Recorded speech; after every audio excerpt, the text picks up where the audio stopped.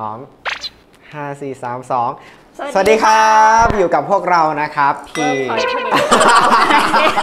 สวัสดีครับ อยู่กับพวกเรานะครับพี่เค้กค่ะ Workpoint Today นะครับ วันนี้พวกเราจะมาทำอะไรครับพี่เค้ก เราจะมาอวดเว็บใหม่ค่ะทำเพื่อแคมเปญผู้ว่ากทมโดยเฉพาะเลย ก็คือเป็นแคมเปญ Bangkok 2022 นะครับ เป็นแคมเปญเกี่ยวกับเลือกตั้งผู้ว่ากทมเองนี่แหละ ที่เราเกาะติดทุกปัญหาของชาวกรุงเทพเลยนะครับ เอาไปถามผู้สมัครผู้ว่ากทม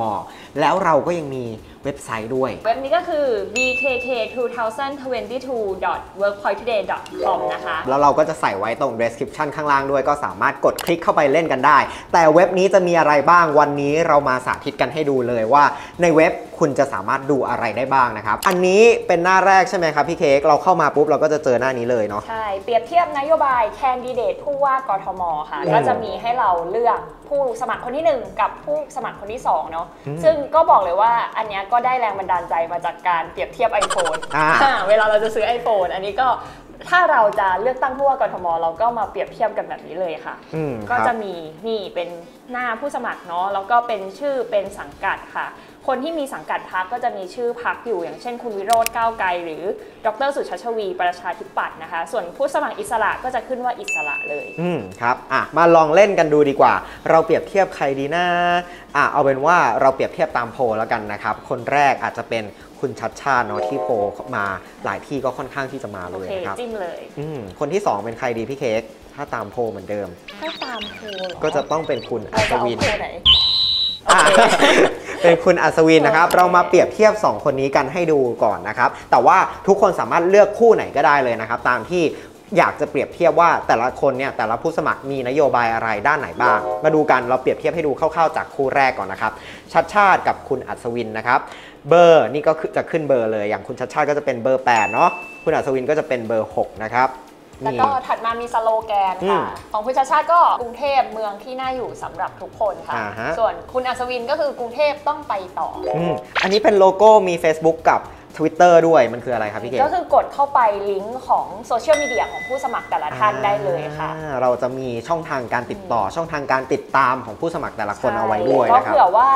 บางทีนโยบายที่เราเอามาเนี่ยเราก็พยายามรวบรวม แล้วก็ย่อยให้ง่ายสำหรับคุณผู้ชมนะอืมแต่ว่า ถ้าอาจจะยังไม่ครบถ้วนสมบูรณ์เนี่ยก็ตามไปติดตามความเคลื่อนไหว หรือการลงพื้นที่หรือนโยบายที่อาจจะปล่อยมาใหม่ ๆ ของผู้สมัครแต่ละคนได้ค่ะอะต่อมาก็จะเป็นประวัติผู้สมัคร อืมก็เป็นประวัติทั่วไป อายุวันเกิดการศึกษาประวัติการทำงานค่ะ แล้วก็ตรงที่เขียนว่าดูทั้งหมดเนี่ยก็คืออม สามารถกดดูเพิ่มได้นะคะ เราพยายามทำให้หน้าของที่แสดงผลเนี่ยคลีนที่สุดแล้วก็เป็นมิตรกับผู้ใช้ก็อาจจะซ่อน บางอย่างที่อาจจะยาวไปเพื่อให้กดดูเพิ่มได้ครับ ต่อมาด้านล่างลงมาเลย ก็จะเป็นเรื่องของการเปรียบเทียบนโยบายเนาะก็จะมีอะเราแบ่งเป็นยังไงบ้างพี่เค้กเราก็แบ่งเป็นนโยบายหลักๆ ที่คิดว่าคนกรุงเทพอยากรู้อืนะมอย่างเรื่องแรกคือการเดินทาง ก็จะมีกาเอ่อเมืองและสิ่งแวดล้อมนะครับ มลพิษและขยะ เศรษฐกิจนะครับ การศึกษา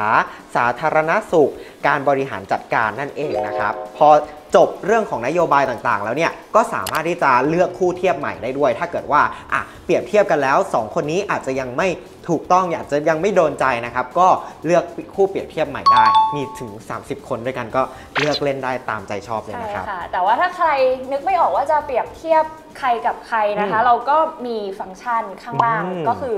ลอง จับคู่คู่เทียบที่น่าสนใจค่ะ ซึ่งอันเนี้ยมันเป็นการ random นะเผื่อแบบว่าหลายๆคนอาจจะนึกไม่ออกว่าเอ๊ะอยากเทียบใครกับใครดี เราก็มี random ให้ข้างล่างค่ะอืมครับแล้วก็เว็บไซต์ของเรามีทั้งเวอร์ชันที่เป็นเดสก์ท็อปนะคะ แล้วก็เวอร์ชันที่เป็น mobileอืมเวอร์ชันที่เป็น mobile เนี่ย ก็จะเปรียบเทียบให้ดูบนล่างค่ะสองของเดสก์ท็อปเนี่ยมันจะเป็นซ้ายขวาใช่ไหมอืมแต่ของ mobile จะเป็นบนล่าง แล้วก็สามารถกดดูทั้งหมดได้เหมือนกันค่ะ ก็จะเปรียบเทียบได้ทั้งแบบนี้เลย ส่วนที่สองนะคะที่สามารถดูได้เลยตอนนี้ก็คือเรื่องของบทความแล้วก็ข่าวความเคลื่อนไหวต่างๆ ของผู้สมัครค่ะ ก็ดูคลิกที่มีแถบข้างๆนะคะอืมก็จะตรงบทความค่ะ นี่เปิดเข้ามาก็จะเจอบทความให้เลือกเลยนะครับ ก็คือจะมีคู่มือเรื่องของการเลือกตั้งนั่นเอง หลายหลายคนอาจจะไม่รู้ว่าเอ๊ะเราไปเลือกยังไงนะ ต้องไปวันไหนต้องเอาอะไรไปบ้าง มีบัตรกี่ใบ เรารวบรวมคู่มือเบื้องต้นเกี่ยวกับการเลือกตั้งผู้ว่ากทม ไว้เรียบร้อยเลยนะครับ สามารถเข้าไปอ่านกันได้เลย ใช่หรือเรื่องของการตรวจสอบสิทธิ์ว่าเราอยู่หน่วยเลือกตั้งไหนเนี่ยก็อยู่ในคู่มือเลือกตั้งนะคะ เราก็แปะลิงก์ไว้ให้แล้วสามารถไปกรอกเลข 13 หลักนะคะ ซึ่งมันเป็นฐานข้อมูลของกกตกทม ก็จะรู้ได้เลยว่า เราอยู่หน่วยเลือกตั้งไหนต้องไปที่ไหนในวันที่ 22 พฤษภาคมอืมยังไม่หมดเท่านี้ใช่ไหมพี่เค้กมันยังมีเซอร์ไพรส์ซ่อนอยู่ด้วยสำหรับตัวเว็บไซต์ bkk 2 0 2 2 workpointtoday com นั่นเอง อะไรครับที่จะเป็นเซอร์ไพรส์ใช่ถือเป็นไฮไลท์เลยค่ะอืมก็จะเห็นบรรทัดบนสุดนะคะ เขียนว่าเช็คผล real time แต่ตอนนี้ยังคลิกเข้าไปไม่ได้ค่ะ เพราะว่ายังไม่มีการเลือกตั้งนะครับใช่เราค่ะเราจะเปิดน่าจะเป็นช่วงของการเลือกตั้งเลย ใช่ วันที่ 22 พฤษภาคมอืมค่ะ เราจะมารายงานผลเลือกตั้งจากหน่วย ลงคะแนน ครับกันสดๆ แบบเรียลไทม์เลยรายงานให้คุณผู้ชม เห็นเลยว่าแต่ละเขตคะแนนนับไปกี่เปอร์เซ็นต์แล้วใครนำใครตามเท่าไหร่ ใครลำดับที่เท่าไหร่นะคะ อืม ก็จะดูแบบแยกเขตได้เลย แต่ถ้าคุณผู้ชมยังนึกไม่ออกว่าเป็นยังไง มันก็จะอารมณ์คล้ายๆ กับตอนที่เราทำโหวต62 นะคคะ รับ เดี๋ยวขึ้นอินเสิร์ตไว้ แล้วก็ส่วนตัวเว็บที่เป็นของ B- BKK อืม2022 เนี่ย เดี๋ยว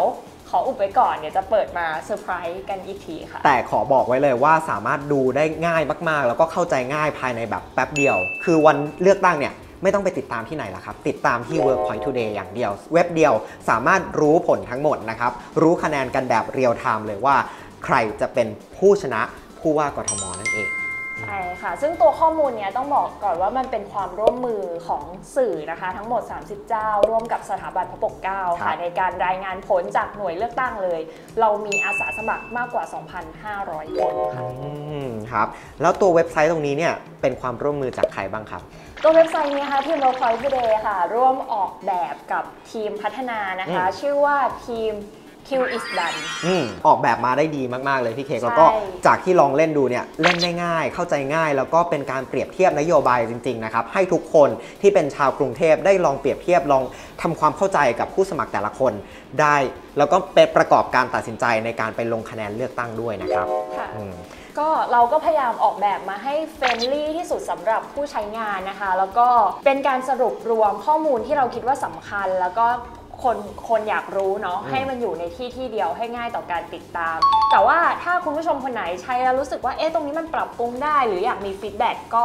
ติดต่อเข้ามาที่ Workpoint Today ได้ทุกช่องทางเลยค่ะ หรือว่าจะเป็นทวิตเตอร์ของพวกเราก็ได้ ได้ครับ ต้องยอมรับไปนิดนึงนะคะว่าข้อมูลในเว็บเนี่ยก็อาจจะยังไม่สมบูรณ์ครบร้อยเปอร์เซ็นต์เนาะเพราะว่าผู้สมัครเนี่ยมีถึง 30 คนเลย ก็อาจจะยังมีข้อมูลของผู้สมัครหลาย ๆ คนที่เรายังไม่ได้สามารถรวบรวมมาไว้ได้นะคะ แต่ว่าเราจะอัปเดตเรื่อย ๆ แล้วก็อืมถ้าผู้สมัครท่านไหนอยากส่งข้อมูลมาให้เราใช่ก็ได้เหมือนกันนะคะ เดี๋ยวเราจะแปะอีเมลเอาไว้ตรงนี้ด้วย แล้วตก็รงในนี้เลยครับ description ด้วย ก็แอบกระซิบนะครับ ใครผู้สมัครคนไหนที่เป็นหนึ่งในผู้สมัครที่ผ่านการอนุมัติจากกกตแล้วเนี่ยอยากส่งข้อมูลมาให้เราอัพขึ้นในเว็บไซต์ ก็สามารถส่งมาได้ที่อีเมลนี้เลย เพราะว่า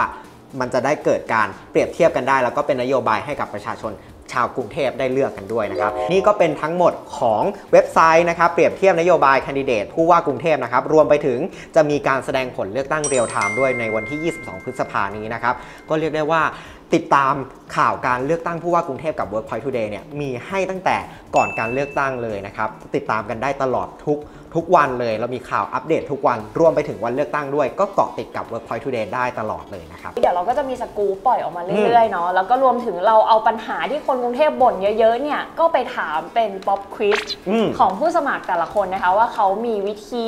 การแก้ปัญหานี้ หรือมีวิสัยทัศน์มีมุมมองต่อการแก้ปัญหานี้ให้กับคนกรุงเทพยังไงใช่ก็จะปล่อยป๊อปควิสเนี่ยปล่อยออกมาแล้ว 2 ตอนนะคะครับก็ทุกๆวันพุธก็ไปติดตามกันได้ค่ะใช่ทาง Facebook Workpoint Today ค่ะ ใช่ครับ แล้วก็ยังมีเกมโชว์วิสัยทัศน์อีกด้วยนะครับ คือเราจะไปให้ผู้สมัครแต่ละคนนะครับ รวมทั้งหมด 7 ท่านด้วยกัน ได้เล่นเกมนะครับ แสดงวิสัยทัศน์ถึงเรื่องต่างๆ เลยนะครับ ไม่ว่าจะเป็นเรื่องฝุ่น เรื่องทางเท้า